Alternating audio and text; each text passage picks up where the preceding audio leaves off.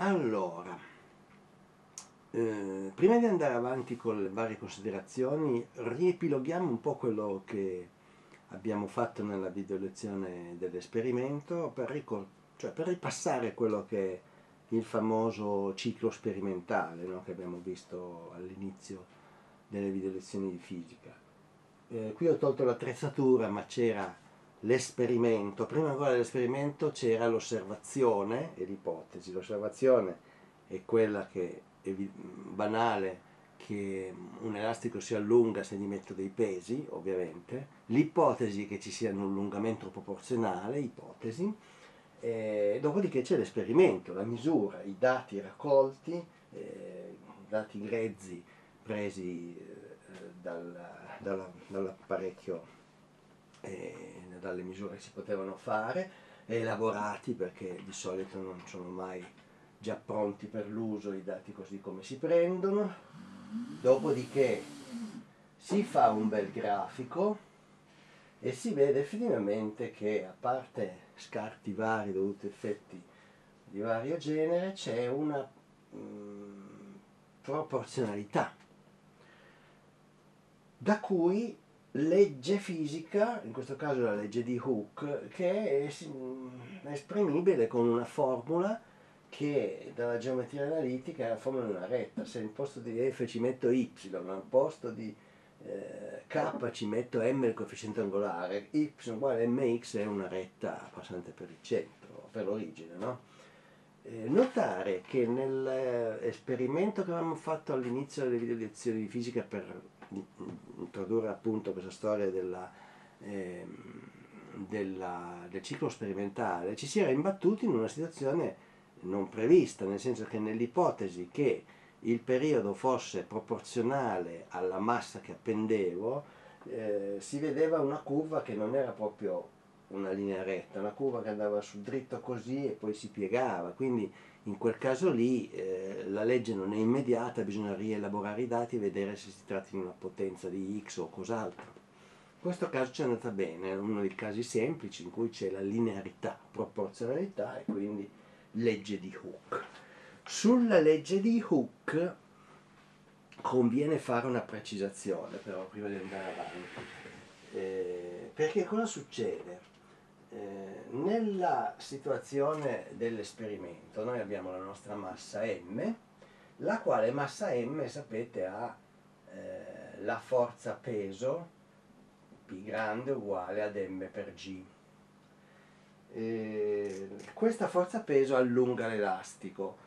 Eh, l'elastico però, la forza che lui esercita è mica verso il basso, l'elastico esercita una tensione, questa forza F qua è una tensione, eh, che trattiene il peso, alla fine il peso si ferma in una posizione di equilibrio e la forza che diciamo, sviluppa l'elastico è uguale e contraria alla forza peso per cui l'oggetto sta poi in equilibrio. Capite che eh, siccome lo spostamento, eh, la x, la x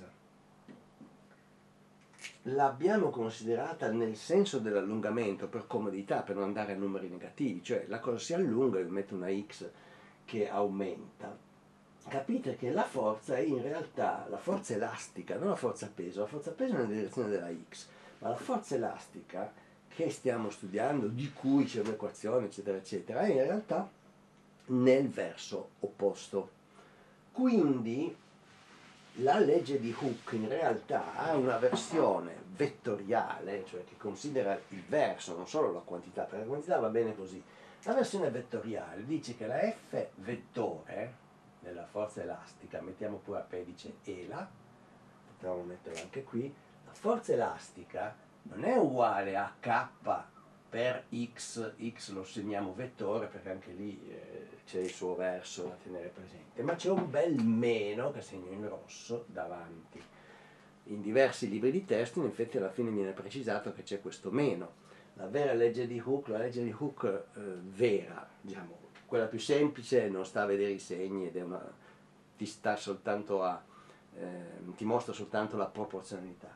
Eh, una legge di Hooke, diciamo, più accurata ti tiene conto di questo meno, ok?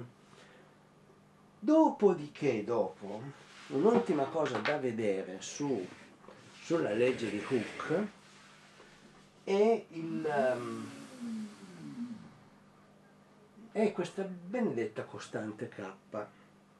La costante K che, eh, vi ho detto, la situazione, adesso vediamo, vediamo, il caso senza il segno meno che facciamo prima, la, la situazione, la nostra eh, F, la nostra X e la retta che rappresenta la legge di Hooke, ecco se io guardo la, la retta come y uguale mx, che è la retta in geometria analitica passante per l'origine, chiaramente la f sarebbe la y, la x è già chiamata x, m il coefficiente angolare sarebbe, sarebbe la nostra k e sapete che la m è il rapporto fra il delta y e il delta x, quando c'è una retta rimane sempre costante, non importa quanto li prendo grandi, il rapporto fra quanto sono salito e lo spostamento orizzontale che ho fatto. Eh, ora io posso prendere, ecco, cosa succede? Che eh, nel, nel nostro caso, vabbè, basta portare di là, allora immaginate qui abbiamo f uguale kx, portiamo di là la x e viene f fratto, eh, sì, fratto x. Quindi la costante si ottiene prendendo una qualsiasi delle forze eh, sulla retta e il corrispondente valore della x. Per esempio, facciamo il nostro caso, io prendo il valore eh, quando era 160 no 1600 millinewton di, eh, di mm, forza e mi pare 110 mm di delta L. Quindi nel nostro caso eh, abbiamo all'incirca abbiamo detto 1600 millinewton fratto 110 mm. Questo sarebbe il valore di K. Tra l'altro i milli si possono togliere si fa 1600 fratto, eh, 100, 1600 fratto 110 che è circa 15. Adesso non diventiamo matti a vedere tante cifre significative. Comunque occhio croce è 14,5 quindi 15. 15 che cosa? Newton fratto metro allora la costante elastica si misura in newton per metro. Nel nostro caso specifico, nel nostro esempio, è circa 15 newton per metro. Vuol dire che quell'elastico, a parte che non, se lo lungo di un metro si spacca prima, però la, in, idealmente si allungherebbe di un metro sviluppando 15 newton di forza, cioè un chilo e mezzo. Vuol dire se ci appendo un chilo e mezzo va giù di un metro, in realtà si spacca, comunque. La cosa funziona anche se non gli faccio fare un metro, se gli faccio fare un millimetro ho 15 millinewton, ok? Ehm, non credo di avere altro da, da, dire, quindi ricordiamoci, costante elastica, questa K si chiama costante elastica con eh, unità di misura eh, newton per metro o di due punti, newton fratto metro. Notare, tanto prima di chiudere, che io ho preso un elastico a lunghezza mozzo. Se io faccio lo stesso esperimento a n volte con lunghezze diverse, sempre dello stesso tipo di elastico, ma con lunghezze diverse di partenza, quindi prendo 20 cm di elastico, prendo un metro, prendo due metri, ehm, questa costante elastica cambia, eh? cioè l'esperimento viene simile con tutta la, la retta e tutti, tutto quanto, però la costante elastica come risultato cambia ed è logico, se tu prendi un elastico molto lungo si allunga più facilmente, se ne prendi uno di 10 cm non è che si allunga chissà quanto, oppone più, più um, resistenza a una forza di richiamo più forte in proporzione. Ok.